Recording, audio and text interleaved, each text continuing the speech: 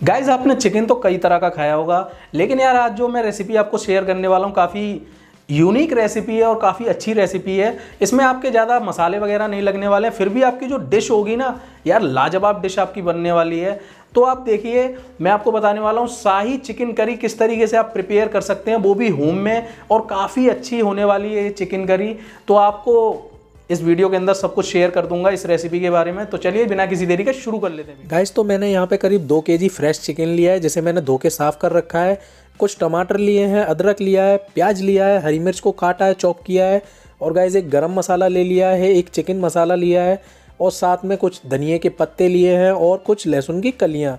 तो गाइज़ ये सारे मसाले आपको ले लेने हैं। गैस तो अब बारी आती है खड़े मसालों की तो यहाँ पे आपको लाल मिर्च लेनी है, साबुत नमक लेना है, और साथ में आपको थोड़ा साबुत धनिया लेना है, काली मिर्च लेनी है, और इन सभी को आपको काफ़ी अच्छी तरीके से पीस लेना है। तो आप ये ग्राइंड भी कर सकते हैं इसे, या फिर सिलबटने के ऊपर पीस भी सकते हैं।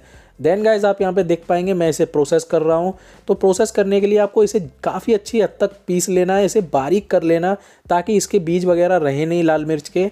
गाइज़ यहाँ पे आपको एक ध्यान रखने वाली बात है, जो आपको रेसिपी को तैयार करना है तो आपको सिल बटने के ऊपर अगर आप ज़्यादा मसाले को प्रेफर करेंगे तो ज़्यादा बेहतरीन टेस्ट आपको मिलेगा। देन गाइज़ आप कुछ टमाटर लीजिए, और साथ में ये जो हमने लहसुन की फलियाँ रखी थी, इन्हें आप ले लीजिए, इन्हें भी आपको पीस देना है, और पीसने के बाद इन्हें भी काफ़ी हल्का कर देना साथ में अदरक को भी मिला लेना आप तो आपका जो देखेंगे, आपकी जो ग्रेवी तैयार होगी, काफ़ी अच्छी तैयार हो जाएगी इन्हीं की हेल्प से।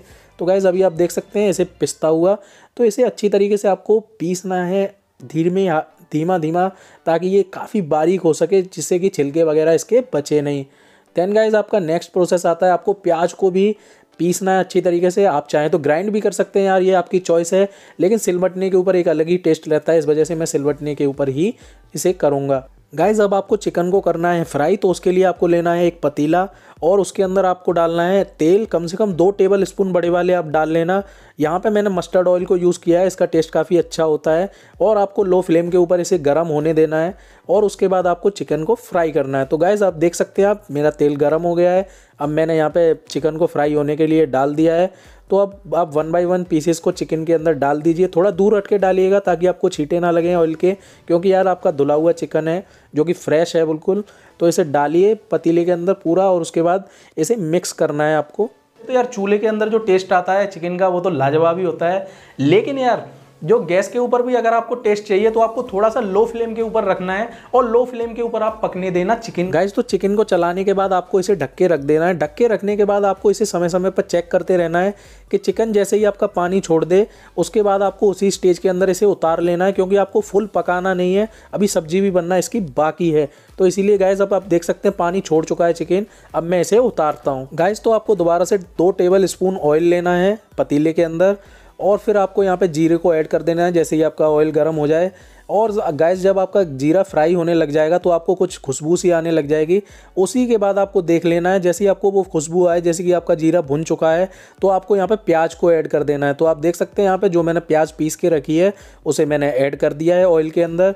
अब इसे आपको हल्की फ्लेम के ऊपर ही फ्राई करना है। आप फ्राई करते रहिए। आप देख पाएँगे यार, काफ़ी अच्छी तरीके से आपकी प्याज यहाँ पर फ्राई होती है, आपको दिख जाएगी। जैसे ही आपको लगे कि आपकी प्याज फ्राई हो चुकी है तो आपको यहाँ पे ग्रीन चिलीज़ को ऐड करना है, जो कि मैंने चॉप करके रखी हुई थी। अब आप यहाँ पे ऐड कर दीजिए और इनको भी साथ में आप फ्राई कीजिए। देन गाइज़ आपको यहाँ पे कुछ जो बादाम वगैरह हैं, जो सूखी मेवा होती है, वो मैंने यहाँ पे ऐड की है तो वो भी आपको इसमें ऐड कर देना है। एक अच्छा टेस्ट आपको यहाँ पर देखने के लिए मिल जाएगा। कुछ फ्लेवर आता है, काफ़ी अच्छा खुशबू भी आएगी आपको।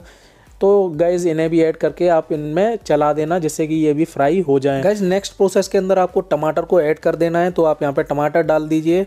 काफ़ी बारीक पीसा था यार ये मैंने तो जितना बारीक आप हो सके टमाटर वगैरह को, चाहे तो आप ग्राइंड भी कर सकते हैं या फिर आप सिलवटने के ऊपर देख सकते हैं, ये आपके टेस्ट के ऊपर है। लेकिन बारीक अगर आपका टमाटर रहेगा तो काफ़ी ज़्यादा यहाँ पे हेल्पफुल हो जाएगा आपकी ग्रेवी प्रिपेयर होने में। अब आप देख सकते हैं ग्रेवी का जो कलर है यार, काफ़ी उभर के आ रहा है। काफ़ी अच्छा फ्लेवर आपको यहाँ पर देखने के लिए मिल जाएगा। अब गैस जब आपका ग्रेवी पूरी तरीके से भुन जाए सारे इंग्रेडिएंट्स फिर आपको यहाँ पे रेड चिली को ऐड करना है। रेड चिली आप यहाँ पे देख सकते हैं, ये भी मैंने सिलबटने के ऊपर ही करा है पूरा, जो कुछ भी है। क्योंकि यार यहाँ पे एक टेस्टी कुछ अलग बनेगा, क्योंकि मैंने सिलबटने के ऊपर इसे किया इसी वजह से, और लो फ्लेम के ऊपर मैं इसे फ्राई कर रहा हूँ सारे इंग्रेडिएंट्स को। अब गाइज़ आप यहाँ पे देख सकते हैं, पूरी तरीके से फ्राई वाली खुशबू आने लग गई है, और यार क्या फ्लेवर आ रहा है यार। सूंघने में ही पता चल रहा है, क्या मस्त ग्रेवी तैयार हो रही है। अब ये ग्रेवी जब तक आपकी तैयार हो रही है, आप इसे एंड स्टेज तक तैयार करना, जब तक आपको ना लगे कि यार भुनने वाली एक खुशबू आपको आ रही है। तो गाइज़ अब आप इसे तैयार होने दीजिए ग्रेवी को। आप देख सकते हैं यार क्या धुआँ निकल रहा है। अब मैंने इसके अंदर चिकन को ऐड कर दिया है। अब आप यहाँ पे देख सकते हैं चिकन भी मैंने ऐड किया है और थोड़ा सा वाटर भी ऐड किया है। लगभग आपको दो गिलास के आसपास वाटर ऐड करना है इसके अंदर, क्योंकि यार ये एक शाही चिकन है तो गाढ़ा होना तो इसका बनता ही है। जब ये गाढ़ा होगा और इसके फ्लेवर्स फूट फूट के निकलेंगे इसके अंदर से, और काफ़ी अच्छी यहाँ पे खुशबू आ रही है यार। मज़ा आ रहा है इसे बनाने में, मैं बता रहा हूँ आपको, ये डिश काफ़ी बेहतरीन होती है। आप इसे जब चखेंगे ना तो आपको ये काफ़ी क्लासिक डिश देखने के लिए मिल जाएगी और ये एक शाही चिकन मतलब शाही चिकन ही आपको बन के मिलने वाला है। काफ़ी बेहतरीन आपको यहाँ पे टेस्ट देखने के लिए मिल जाएगा। मसाले आपके मैच काफ़ी अच्छी तरीके से हो जाएँगे। तो ये आपको ध्यान रखना है लो फ्लेम के ऊपर आप इसे पकाना जिस तरीके से चूल्हे में हल्की हल्की आग चलती है। आप देखिए ये चिकन आपका बन के प्रिपेयर हो, हो चुका है। लगभग हाफ़ स्टेज तक ये आ चुका है। इसके बाद बस आप इसे थोड़ा सा इसका जो पानी है, इसे थोड़ा सूखने दीजिए। देन गाइज़ आप देखेंगे कि यहाँ पे आपका चिकन पूरी तरीके से बन के तैयार हो जाएगा। तो अब आपको इसमें मसाला ऐड कर देना है। आप ग्रेवी अपने हिसाब से देख लेना। अगर आपको गाढ़ी पसंद है तो आप पानी को ज़्यादा सुखाना मत। लेकिन मुझे थोड़ा पानीदार ही पसंद है, इस वजह से मैंने यहाँ पे मसाला ऐड कर दिया है। गरम मसाला जो चिकन वाला था। अब गैस यहाँ पे मैं आप कुछ हरी पत्तियाँ भी ऐड कर दूँगा, जो कि मेरे कोरिएंडर की मैंने काट के रखी थी, यानी कि आपको धनिया पत्ती ऐड कर लेनी है, या आपके फ्लेवर के ऊपर अगर आपको पसंद है तो आप ऐड भी कर सकते हैं या फिर आप इसे स्किप भी कर सकते हैं। लेकिन अगर आप इसे ऐड करेंगे तो एक खुशबू आपको अलग ही देखने के लिए मिल जाएगी। देन गाइज़ ये मेरी चिकन करी पूरी बन के तैयार हो चुकी है। आप देख सकते हैं यहाँ पर काफ़ी बेहतरीन आपको यहाँ पर फ्लेवर खुशबू देखने के लिए मिल जाती है। अब आप देखिए यार, काफ़ी मस्त चिकन बना है और साथ में आप देखेंगे यहाँ पे जब मैं आपको इसे तोड़ के दिखाऊँगा, काफ़ी सॉफ्ट है ये। मैंने इसे खा के भी देखा है, काफ़ी बेहतरीन लगा मुझे, क्योंकि बीच बीच में मैंने इसे चेक भी किया कि कितना गला, कितना नहीं गला। अब आप देखिए, मैं आपको इसका एक सॉफ्टनेस का टेस्ट करके दिखाता हूँ कि कितना सॉफ्ट मेरा चिकन यहाँ पे बना है। आप देखिए आप, हाथ में जैसे ही मैंने लिया, ये देखिए कैसे फूट रहा है।